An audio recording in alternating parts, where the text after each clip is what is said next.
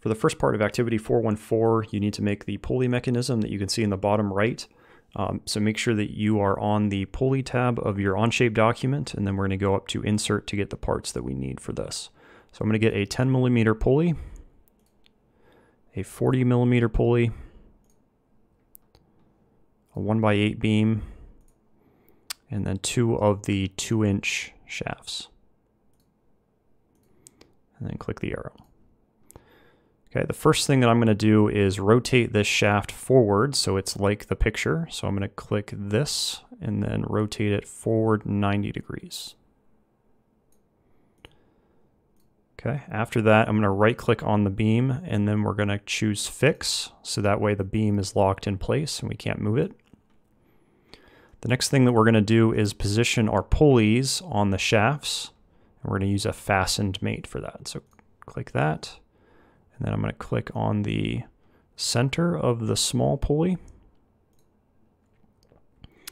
And then I'm going to choose the top of this axle here. Okay. And then I'm going to apply a half inch offset on the Z axis. So 0 0.5.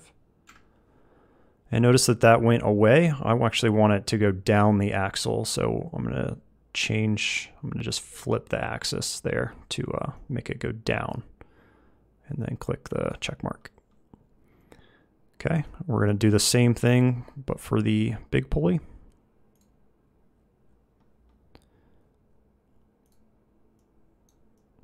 And then I'm also going to apply the offset here.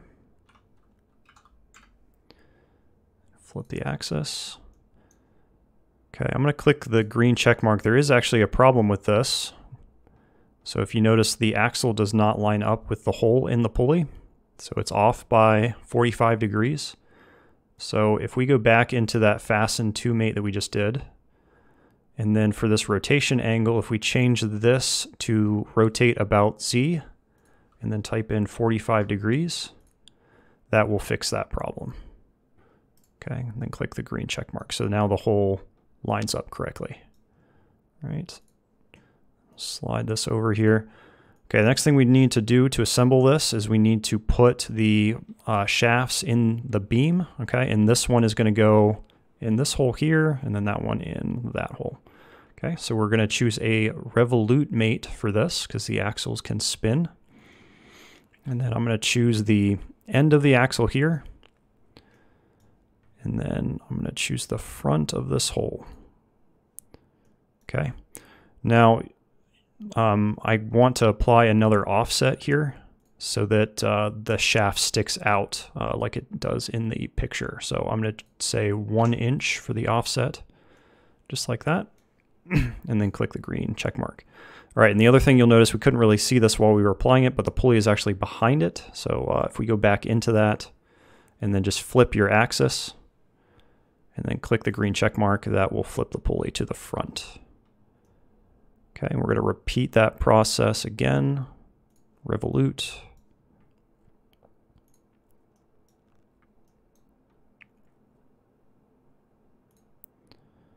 And then apply your one inch offset and then go ahead and click the flip primary axis again so the pulley is on the front. Okay, so this is now fully constructed. Uh, we need to add a gear relation so that when these turn, uh, they turn with each other. Okay, so we're going to go up here to the gear relation. And then for the mates, you want to select both of the revolutes. So I'm going to start by clicking on revolute 1 and then 2. And then we need to provide a relation ratio, uh, which is um, basically the size ratio between our pulleys. So this one is 10 millimeters and this one is 40. So uh, since we have Revolute 1 first, that would be the 10 millimeter pulley. So I'm going to put that in as 10 and then um, slash, and then this would be our 40 millimeter pulley. So I'm going to put in 40 for that. And that obviously is going to simplify to a quarter or 0.25. And then we're going to click the check mark there. And now if you manually rotate these, you'll notice they rotate together. If you're looking carefully, they are actually rotating opposite directions, which is not how it would work. So I'm going to go back into gear one and we need to reverse the direction.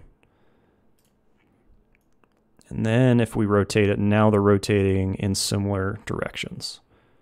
Okay, and if you notice that I'm rotating this one slowly and the smaller one is rotating more quickly, which is how it should work. We can also animate this. So if you right click on Revolute 1 or 2, doesn't really matter which one, and then you change the reciprocate to loop, and then you click play, the pulleys will move automatically.